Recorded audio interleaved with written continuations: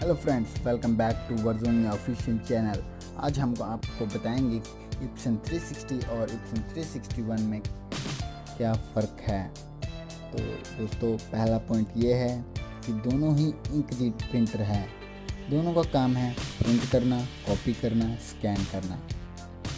पर बहुत से मैंने यूट्यूब देखे हैं जहाँ पर ये डिफरेंस बताया जाता है कि इप्सन 360 इमेज भी प्रिंट करता है, पर इप्सन 361 नहीं करता। पर ये गलत है दोस्तों।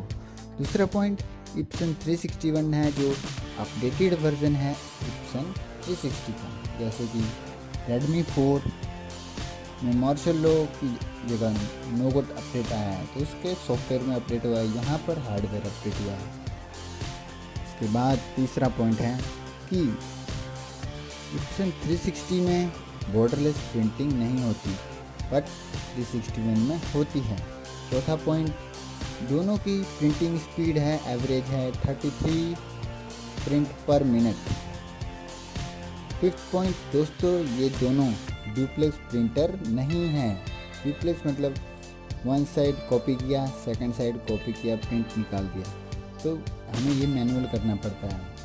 Six point max multi copy limit है इसकी ट्वेंटी पेजेस यानी कि आप कोई भी सर्टिफिकेट कोई भी आपको पेपर कॉपी करना है तो आप नेक्स्ट ट्वेंटी पेजेस लगातार कॉपी करके एक साथ प्रिंट दे सकते हैं, यानी ट्वेंटी पेजेस आपके प्रिंट हो जाएँगे। Seventh point both supported U S B two point zero and support hundred sheet tray में हंड्रेड शीट से ज़्यादा नहीं आती तो आठवां पॉइंट है दोस्तों, कि दोनों में एक साल की वारंटी मिलती है। और दोनों ही एवरेज चार हज़ार pages black and white print कर सकते हैं। नोवा पॉइंट अमेज़ोन पे जो लेटेस्ट है लेटेस्ट कॉस्ट है इनकी, वो 360 की है, साढ़े दस हज़ार। और 361 की है, जो इसका अपडेटेड वर्जन है, उसकी है नौ हज़ार। प्लस 361 में आपको 15 डेज़ प्राइस गारंटी भी दी जाती है। दसवा पॉइंट दोस्तों, ये बहुत इम्पोर्टेंट पॉइंट है। हमें ध्यान से सुने। कि प्रिंटिंग कॉस्ट जो ये लिखते हैं अमेजन पे लिखते हैं सेवन पैसा ब्लैक एंड वाइट की एंड एटीन पैसा कलर्स की।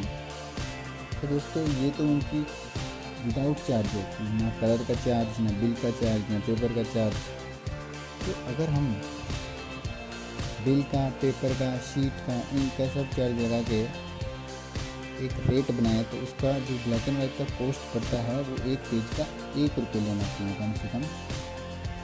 और कलर का तीन रुपये दोस्तों, आपको ये डिफरेंस और ये सिमिलरिटीज़ कैसी लगी?